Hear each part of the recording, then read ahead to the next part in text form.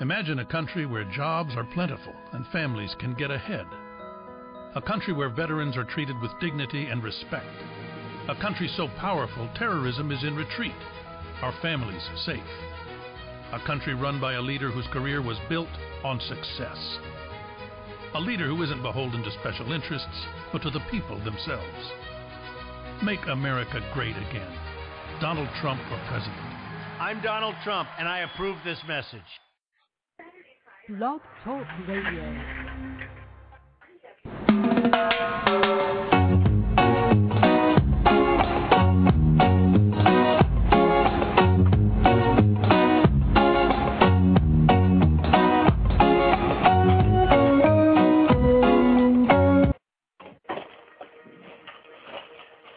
Hello, friends.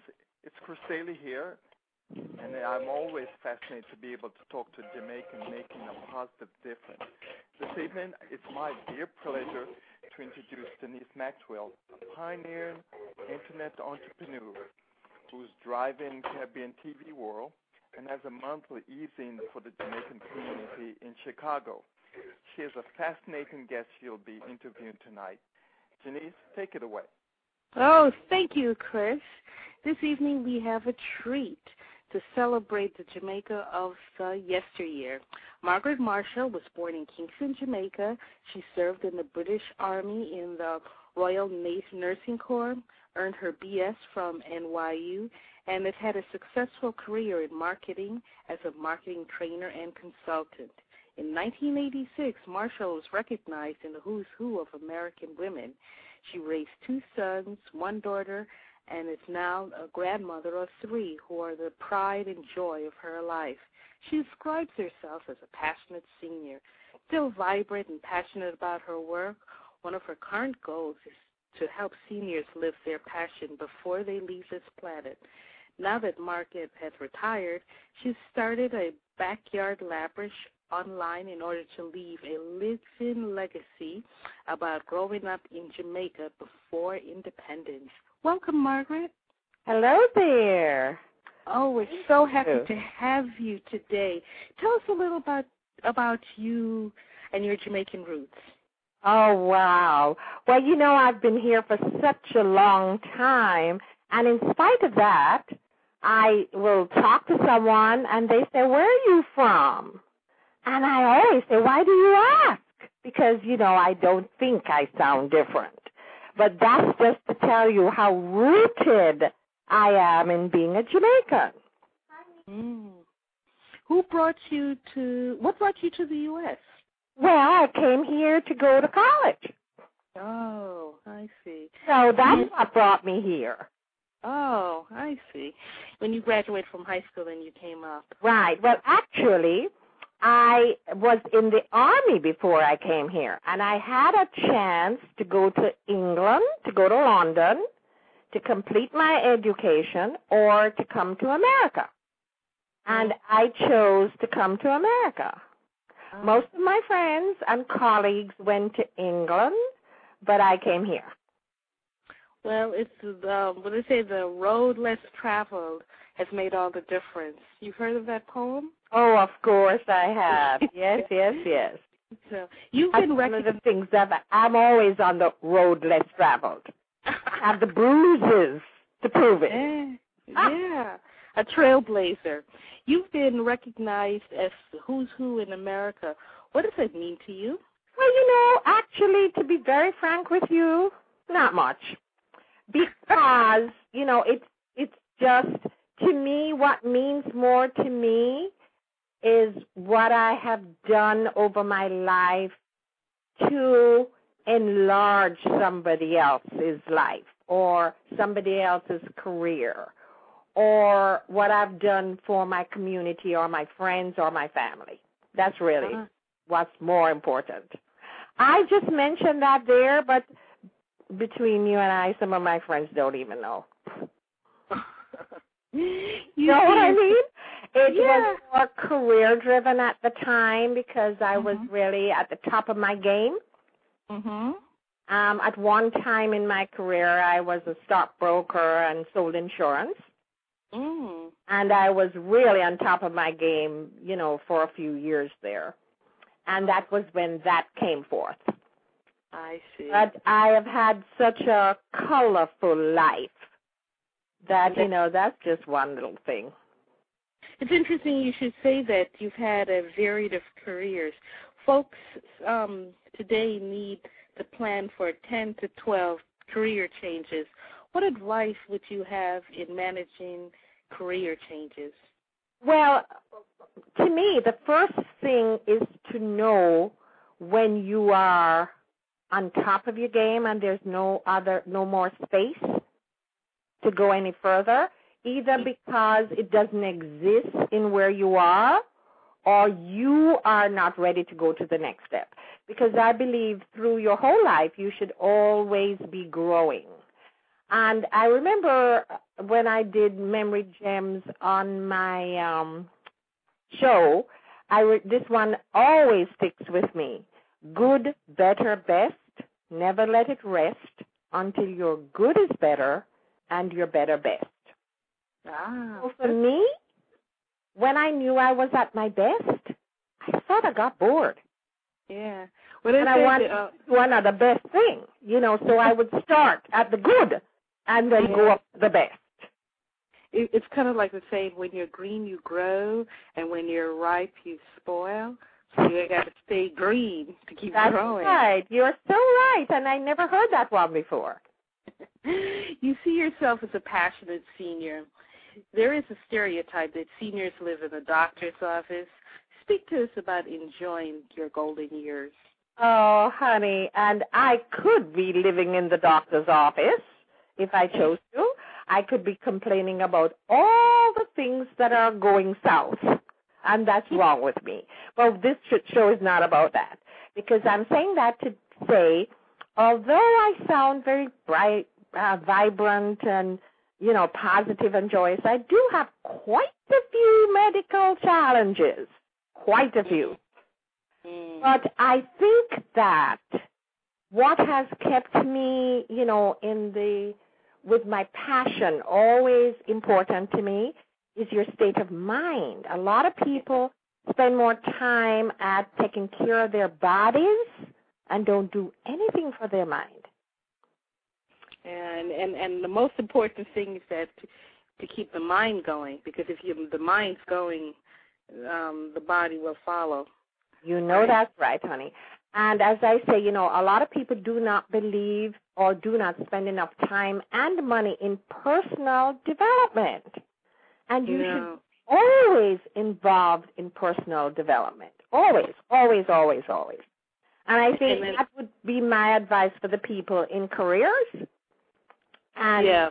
changes and and and go for the the the the careers that you really feel in your heart. Not about it's not about the money. But what what what stimulates you? What you know keeps you up at night because you're so excited about it? right What drives you? Not, yeah. not not keeps you up at night because you feel overworked, but what keeps you up at night for the joy of doing it. Right. You are focused on keeping alive the memories of pre independence Jamaica. Why is this period so significant to you? Well, may I just tell you how it all came about?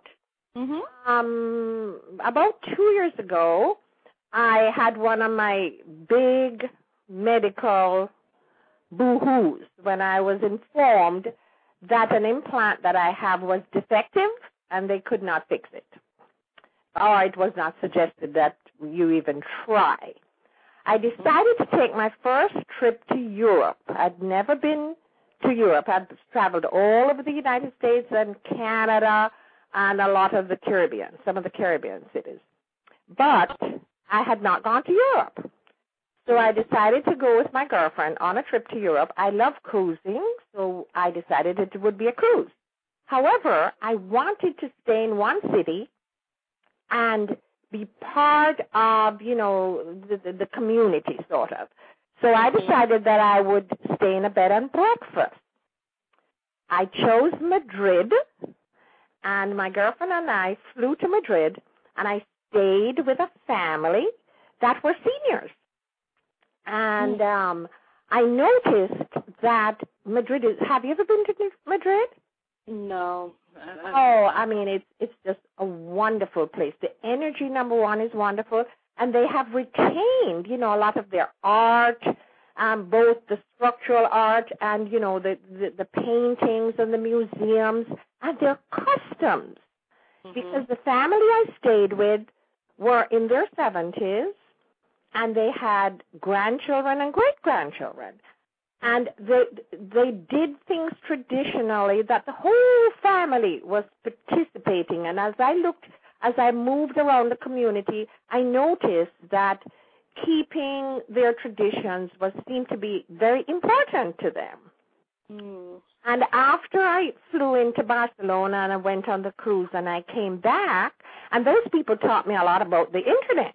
They were older people and they told me about Skype and different things, and I was so fascinated because at that time I wasn't that involved with the internet.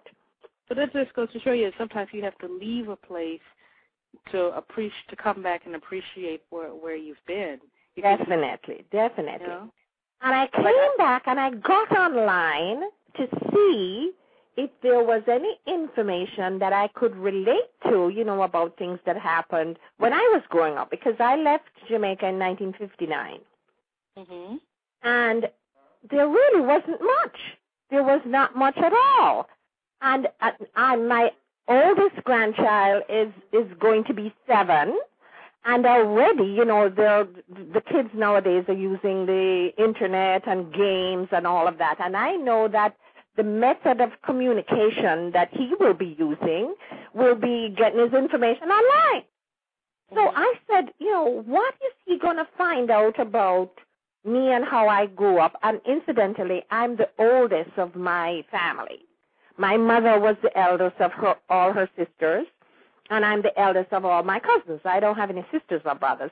So any information I have that my younger cousins and family don't have will go with me, right? Mhm. So, and because my house burnt down, my house burnt down about two years before I took that trip, or a year before I took that trip. So, all of my documentation in terms of pictures and anything that I had that related to my past just went up in smoke. That's how fast it can happen. And it included some things that I had from my mother, some things that she had from her mother, and and I realized that I had nothing to that would, you know, say anything about my past. So Mhm. that's when I went online and there wasn't much information about, you know, the period I grew up in. Mm. So I got this idea of trying to encourage seniors to tell their story, you know, before they leave the planet. Mhm. and and to put it in a format that is being used now by the younger generation and we know is the future which is the internet Right. because just like how I was trying to preserve a lot of things but you know through the fire I lost everything Mhm. so that's what sort of gave me the idea and drove the passion. Because there is a lot of information about the now Jamaica and what's going on now. You know, they're doing a very Oh good yeah. job of documenting everything. For the now. Yeah. Right. Who are- But there is not really a lot of information about, not a lot of information. I mean, living stories, from- right. lived the past. So who are the personalities that dominated the culture during your formative years? Oh well, my my mentor and my very favorite person was Norman Washington Manley. Mhm. I just really, really admired him. I loved his eloquence. You know, his. Uh, I mean, he was my mentor. As a matter of fact, when I came here, I wanted to become. I wanted to go into law. You know, I changed afterwards, but um I was really, really very fascinated with him. I see. Oh.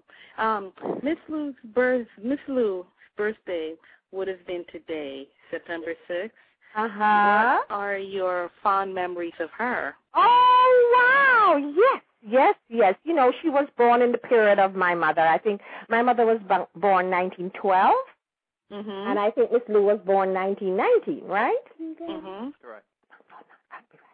And uh, you know, as growing up as a young person in Jamaica in those days, we um uh, the pantomime was the biggest treat, and it was always held around Christmas time. And uh, th- th- for me, the most entertaining part of the pa- pantomime, or any anything that was going on around holidays, would be Miss Lou because in the days that I grew up, you know, in the 30s and 40s, it, it, it, it, the patois was sort of a treat. You know, you didn't.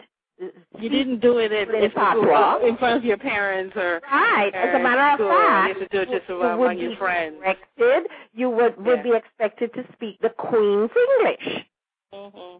And what really intrigued me with I loved Miss Lou is Oh yeah, her her passion, her energy.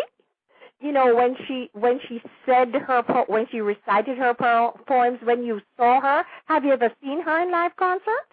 Yeah, actually, my very first play Uh-huh. um and that and and it was interesting that the, the, all that occurred is um I was I was born in Kingston, but I grew up in Montego Bay.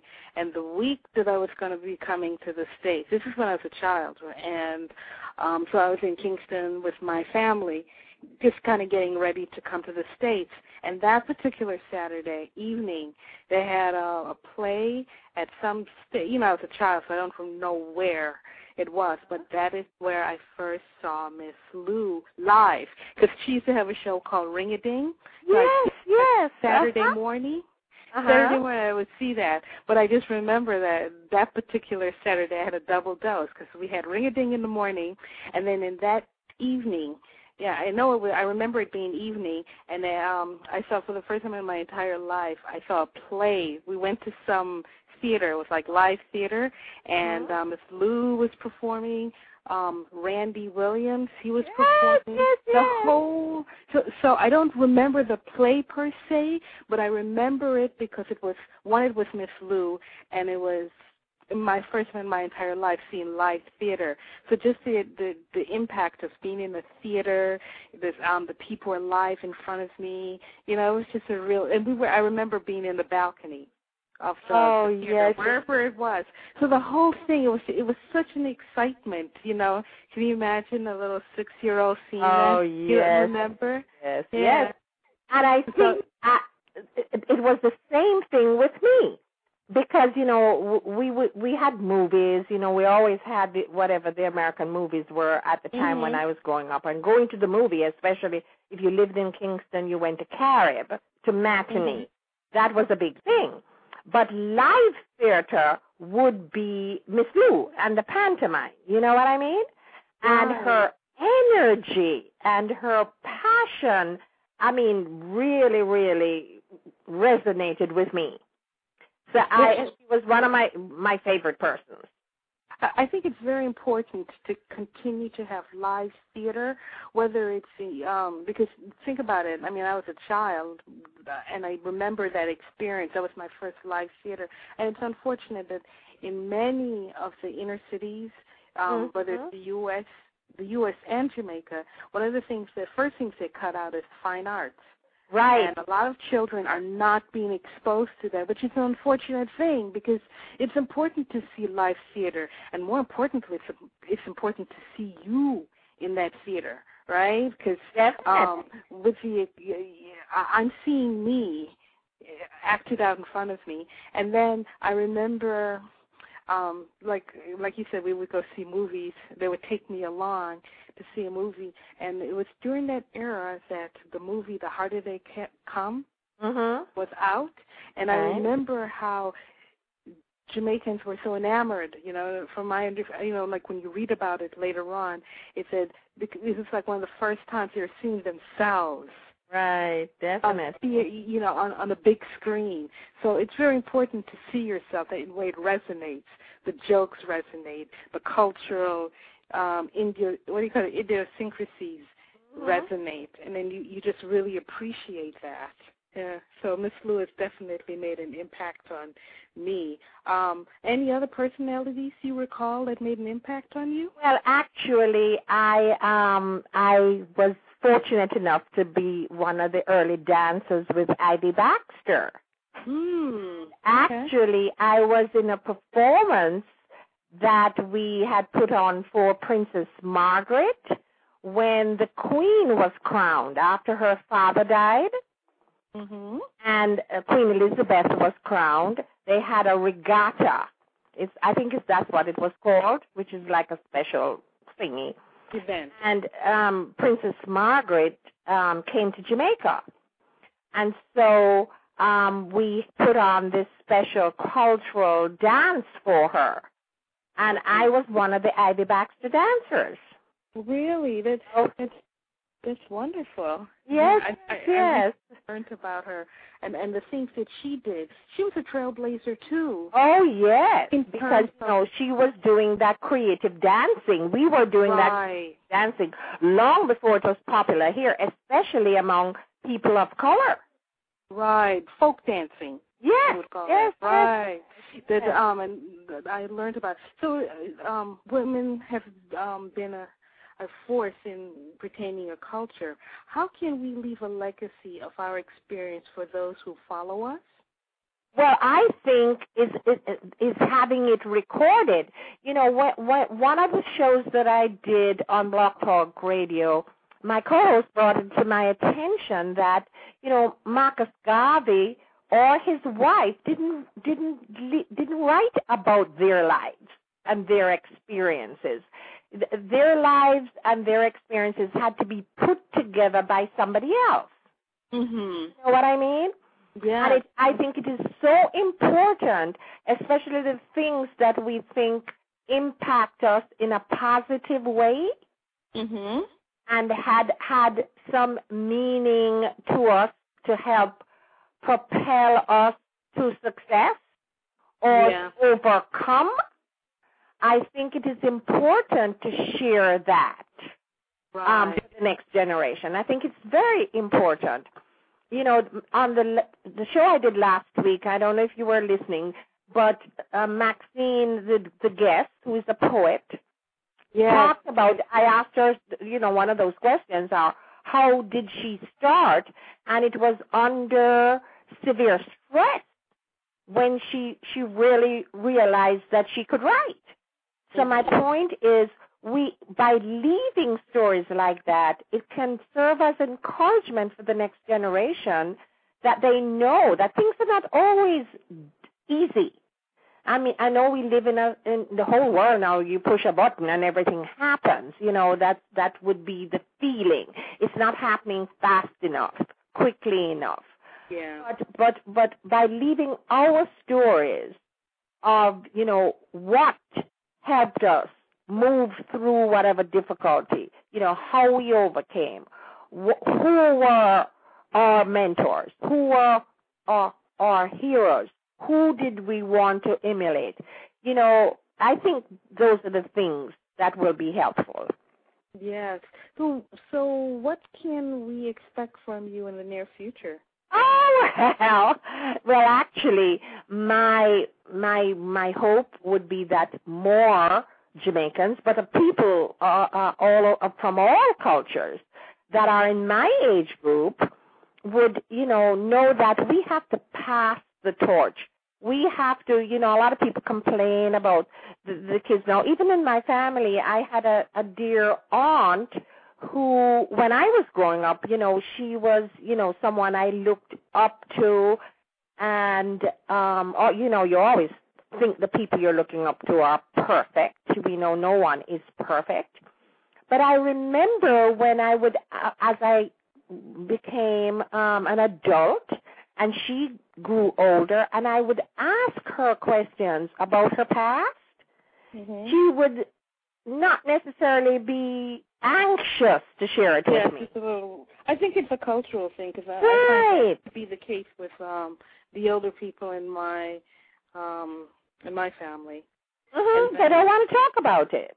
Yeah, and, and that's unfortunate because, like let's say, I, I wanted to write about. I'm a novelist, but um, in my head anyway. No, in my head, I'm a novelist in my head. But I mean, I have a smart. public, and so I wanted to write a novel about um the Kendal crash and, and Uh-huh. the impact of the community and um the people who had access to that information um you know like what how they were feeling or or, or things Mhm. of that nature um just to kind of get a feeling of how people were going through they were a bit reluctant they didn't want to do that so it's good to hear that you are very open and embracing of um sharing your um your tremendous experience of Jamaican culture and we definitely appreciate you spending some quality time with us. So um so before we leave, Chris, would you like to um do you have any questions for our distinguished guest? Well, I'm just encouraged that you you you uh, blaze the trail and you continue to blaze the trail and to encourage seniors to actually capture the important memories of life to leave that kind of legacy. We do not, we cannot do without stories like that, and I'm I'm so thankful and grateful that you were able to spend some time with us and to thus encourage us and encourage other seniors to actually capture that element. And I hope they they'll get to uh, tune into Blog Talk, your Blog Talk Radio, and get inspired like we have been. Oh, well, thank you so much, and I appreciate you having me on your show. Yeah. And I admire, I want to encourage all the young people to start asking the older people, the seniors, you know, uh, pump it out of them. You know, ask them what, what, what, what they're passionate about. I mean, and, and perhaps that will get them into thinking to become more passionate about leaving a legacy. So you've got your work cut out for you too. okay, good. yeah, we've got a lot to do. To learn more about Chris Daly's blog, visit Jamaicans.com, and then you can click Me Think Me Thinking. We say it in a patwa today. Me Thinking. Right. Um, and you can Lou hear would his, say it. you hear his blog. You can read about his blog, or you can visit his website at, at yardgenius.com to learn more about Jamaican Diaspora's blog, the radio show, the TV show. Visit JamaicanDiaspora.com. And to learn more about Margaret, um, and listen to her show. It's her weekly show. It comes on on Wednesday. Go to Backyard Labrish, and then you can learn more about that interactive website and listen to her radio show. Visit backyardlabrish.com. Margaret, it's been a pleasure, and we appreciate you spending a lot of time giving us some insight on what it was pre Jamaican independence, and we wish you the very best. Oh, I appreciate you all, and I thank you for having me as your guest. It was my pleasure, and you can call on me anytime, sweetie. Oh, we will. All right? And keep up the good work and keep asking those questions. Okay.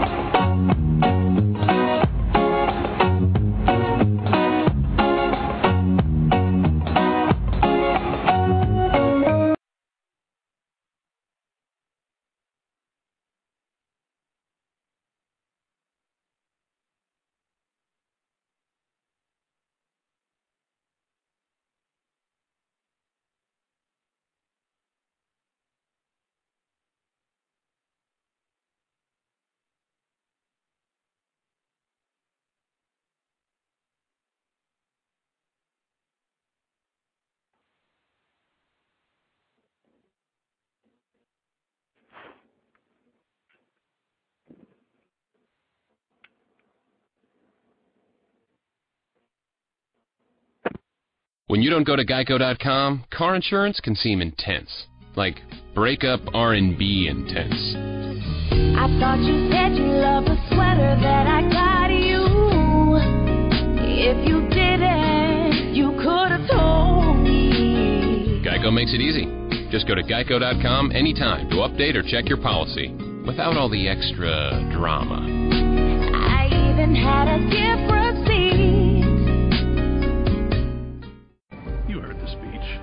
Behind the glitter lies this stark truth. In Hillary Clinton's America, things get worse. Under her dishonest plan, taxes keep rising, terrorism spreads. Washington insiders remain in control. Americans losing their jobs, homes, and hope. In Donald Trump's America, people are put back to work. Our families are safe. The American dream achievable again. Change that makes America great again. I'm Donald Trump, and I approve this message.